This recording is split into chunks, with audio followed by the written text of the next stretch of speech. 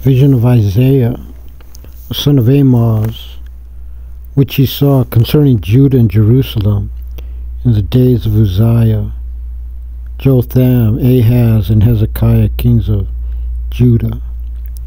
Hear, O heavens, and give ear, O earth, for the Lord hath spoken. I have nourished and brought up children, and they have rebelled against me. The ox knoweth his owner, and the ass his master's crib. But Israel does not know, my people does not consider. Ah, sinful nation, a people laden with iniquity, seed of evil doers, children that are corrupters, they have forsaken the Lord. They have provoked the Holy One of Israel unto anger. They are gone away backward. Why should ye be stricken any more? Ye will revolt more and more. The whole head is sick, and the whole heart faint. From the sole of the foot even unto the head, there is no soundness in it, but wounds and bruises and putrefying sores. They have not been closed, neither bound up, neither mollified with ointment. Your country is desolate. Your cities are burned with fire, your land strangers devour it in your presence. And it is desolate as overthrown by strangers.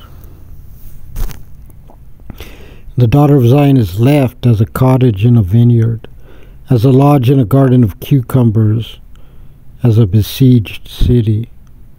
Except the Lord of hosts had left unto us a very small remnant, we should have been as Sodom. We should have been like unto Gomorrah.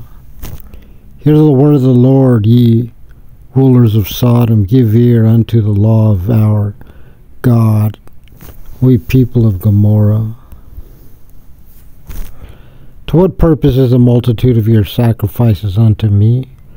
saith the Lord, I am full of the burnt offerings of rams, and the fat of fed beasts, and I delight not in the blood of bullocks, or of lambs, or of he goats. When ye come to appear before me, who hath required this at your hand to tread my courts? Bring no more vain oblations. Incense is an abomination unto me. The new moons and Sabbaths, the calling of assemblies, I cannot away with. It is iniquity, even the solemn meeting. Your new moons and your appointed feasts, my soul hateth. They are a trouble unto me, I am weary to bear them. And when ye spread forth your hands, I will hide mine eyes from you. Yea, when ye make many prayers, I will not hear your hands are full of blood. Wash you, make you clean, put away the evil of your doings. From before mine eyes, cease to do evil. Learn to do well, seek judgment. Relieve the oppressed, judge the fatherless, plead for the widow. Come now and let us reason together, saith the Lord. Though your sins be as scarlet, they shall be as white as snow. Though they be red like crimson, they shall be as wool. If ye be willing and obedient, ye shall eat the good of the land. But if ye refuse and rebel, shall be devoured with the sword, for the mouth of the Lord hath spoken it. How was the faithful city become a harlot? It was full of judgment, righteousness lodged in it. But now murderers. The silver has become dross, the wine mixed with water. Thy princes are rebellious and companions of thieves, every one. Loveth gifts and followeth after rewards. They judge not the fatherless, neither doth the cause of the widow come unto them. Therefore saith the Lord, the Lord of hosts, the mighty one of Israel, I will ease me of mine adversaries, and avenge me of mine enemies, and I will turn my hand upon thee. Purely purge away the dross, and take away all thy tin. Now restore thy judges. Is that the first, and thy counselors? Is that the beginning?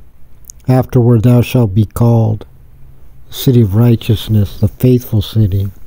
Zion shall be redeemed with judgment, and her converts with righteousness. And the destruction of the transgressors and of the sinners shall be together, and they that forsake the Lord shall be consumed. They shall be ashamed of the oaks which ye have desired, and ye shall be confounded for the gardens that ye have chosen. Ye shall be as an oak whose leaf fadeth, and as a garden that hath no water. The strong shall be as tow, and the maker of it as a spark. And they shall both burn together, and none shall quench them.